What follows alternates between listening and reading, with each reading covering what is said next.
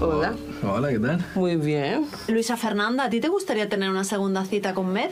No. Porque yo creo que no congeniamos. Yo creo que compatibilidad cero.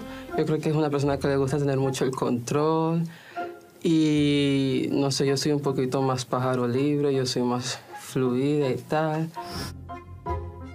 ¿Y a ti, Med, te gustaría tener una segunda cita con Luisa Fernanda? No, la verdad es que no.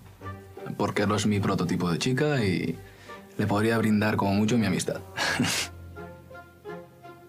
Yo, yo no quiero ni amistad.